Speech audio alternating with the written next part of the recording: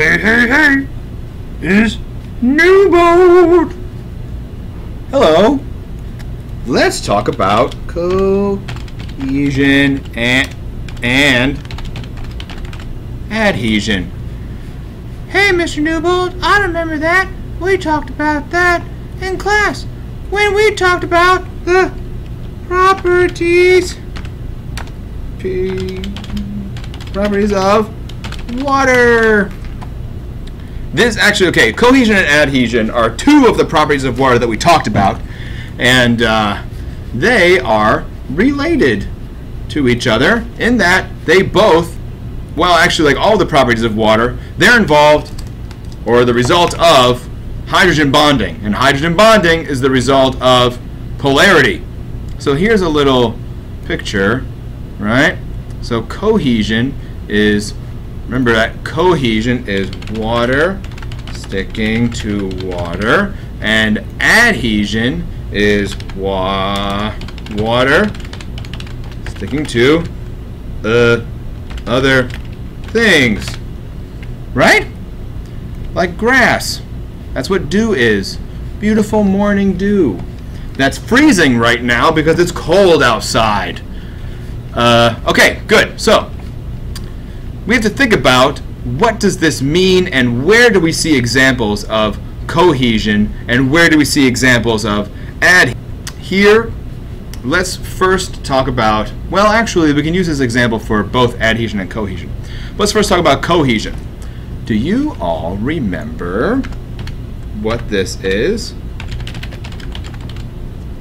Surface tension. Surface tension is that layer of where that, that okay that layer of water where the water meets the atmosphere.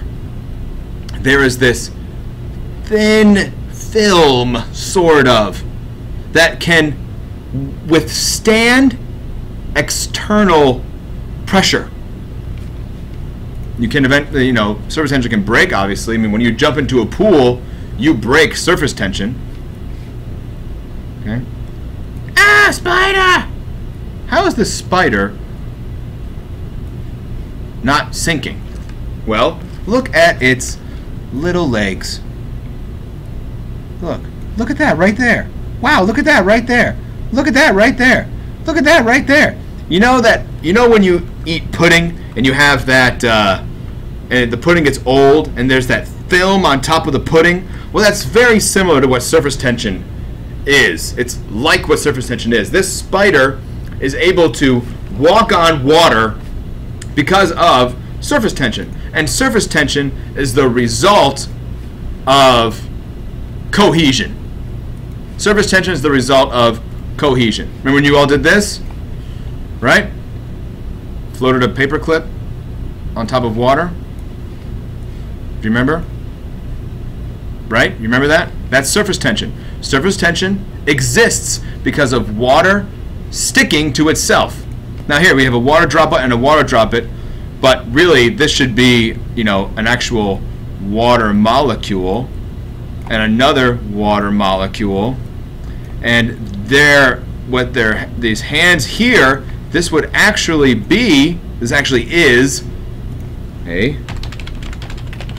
a hydrogen bond. Okay?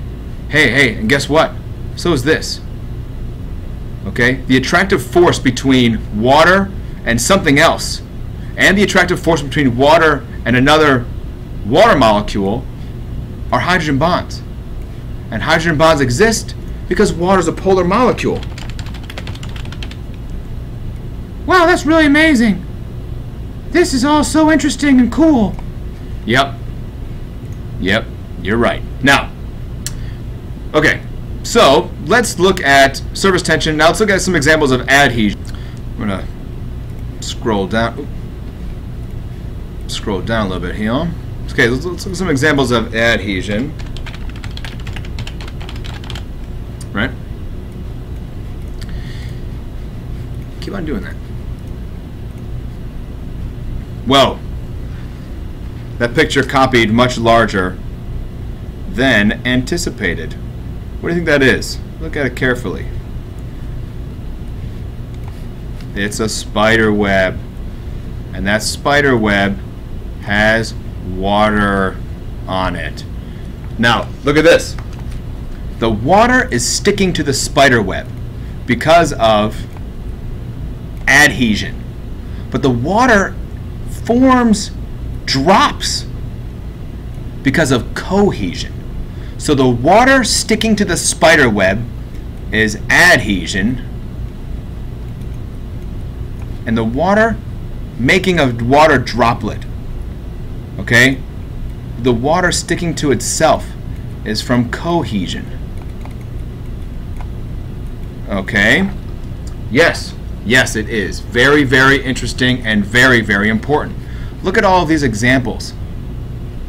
The water sticking to the spider web is adhesion. The water sticking to itself, making a drop, is cohesion. Now, where do we see this?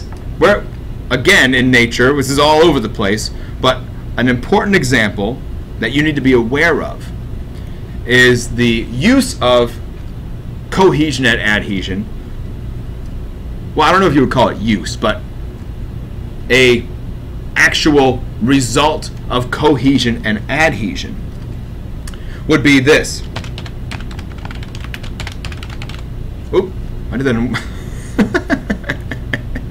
oh, that's funny. That is funny. Capillary action. Okay? Uh, that happened because I had the caps lock on and then I hit shift. Anyway, who cares? Capillary action is water moving up a thin tube.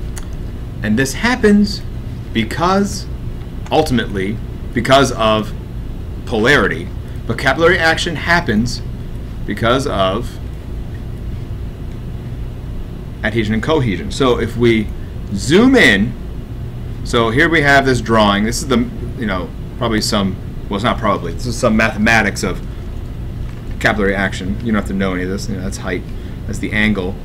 But if you look here, if we were to zoom into this area here, here's a little container with water in it, and here's a thin tube. Say it's a glass tube. Well, look what happens. The water is attracted to the edge of the glass. It's called a meniscus. This is the result of the water sticking to the glass. So is that adhesion or cohesion? The water sticking to the glass. Is that adhesion or cohesion? Water sticking to glass. It's adhesion. And the water sticking to itself, and this is their surface tension right here, is cohesion. So the water sticking to itself and being moved is cohesion. The water sticking to itself and staying together is cohesion. But the water then moving up the tube is because of adhesion. Okay? Alright, now so what? Who cares? Well, the what's cool about this is that what ends up happening is that you can have water move up the stem of a plant. This is how plants move water from the soil to their leaves. Here we have some celery, and within the stems of celeries and oak trees and roses, the stems of all plants, there are tubes.